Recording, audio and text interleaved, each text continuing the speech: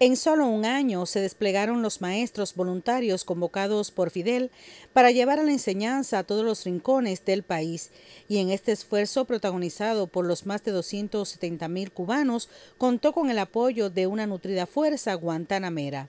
La campaña de la alfabetización fue única en el mundo y eso se lo debemos a Fidel.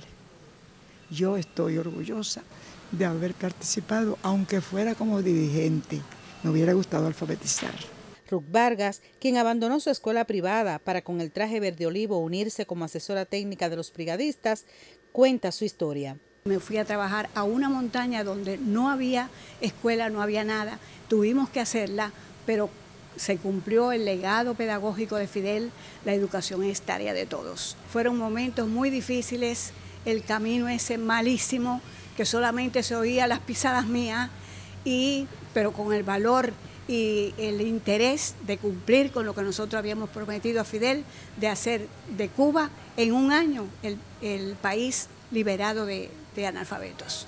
Inspirados en el ejemplo de los alfabetizadores, quienes viven el orgullo de haber acabado con cuatro siglos y medio de ignorancia, están en activo otros educadores. Tengo varios maestros que ya han sido alumnos míos monitores y que hoy son maestras.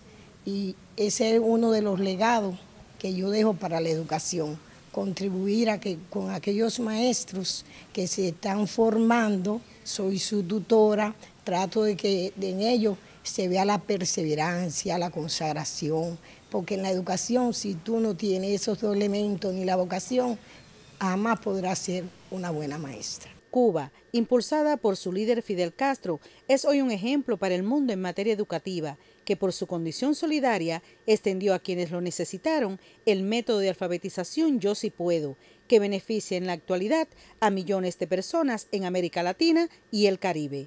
Rebeca Frometa González, a tiempo.